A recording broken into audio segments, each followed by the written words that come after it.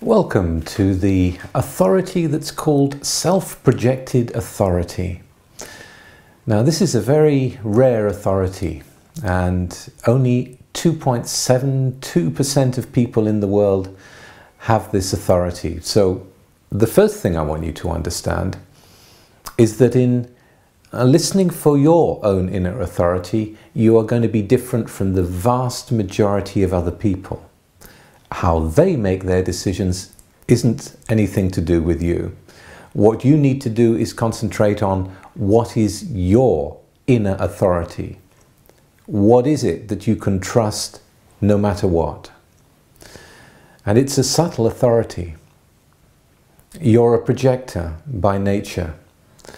So as a projector, you're here to wait for the invitation, wait to be recognized for who you are, and if the invitation fits with who you are, and you would like to go in that direction, then generally speaking, that would be appropriate for you.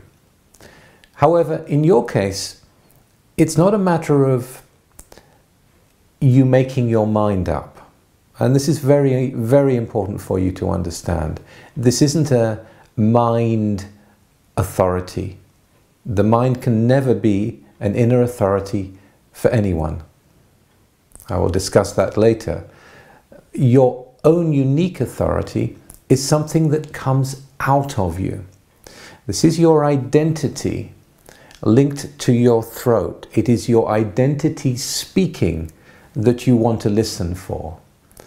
Now, your identity is something that is to do with the direction in which you're going and to do with the personal insights. When I say insights, the, the, the self talking in a poetic language in terms of truth can also be part of this. Most of the time, it's going to be in terms of direction. So, when you're listening to your voice, what I want you to listen to is in accepting such an invitation, whatever it may be, is this something that will make me happy? Can I see myself there? You know, will I fit that particular scenario? Will it make me happy to be with that person? Is this something that, that will really take me into a future that I would like to be in? Now, this is a spontaneous verbal release. This is something that just comes out of your identity without you thinking about it. It's unrehearsed. It's not you speaking to yourself and trying to frame it and edit it in a way that makes it sound more likely or makes it sound more favorable to you. It's something that just comes out of you.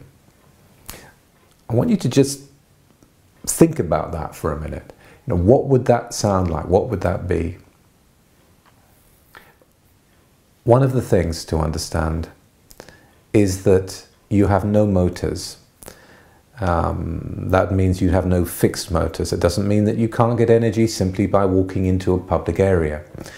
But it means that you're not really here to do a hell of a lot.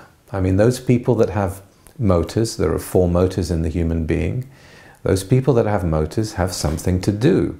They have something to do in this world. You're a guide, and you're designed to guide people so that they can have success through following your guidance and then recognize that it was you that was behind them.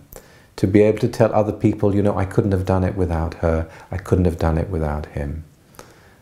So you get recognition through the success of someone else following your guidance.